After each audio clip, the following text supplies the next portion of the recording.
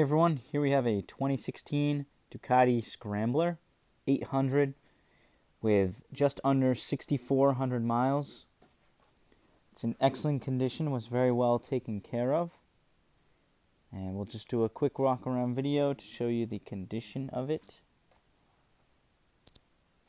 This bike is all stock, uh, except for a fender eliminator kit, which is very important on these. It looks looks way better without the fender there.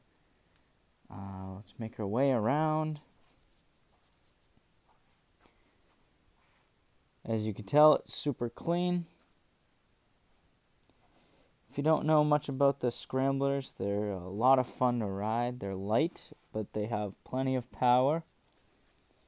And they're still a Ducati, so uh, you know they they handle very well, and they're they give a real sporty type of ride with a cool look.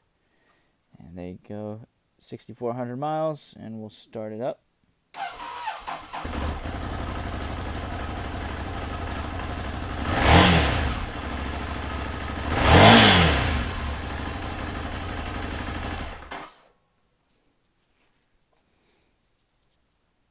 It's a really nice bike, cool color, the red.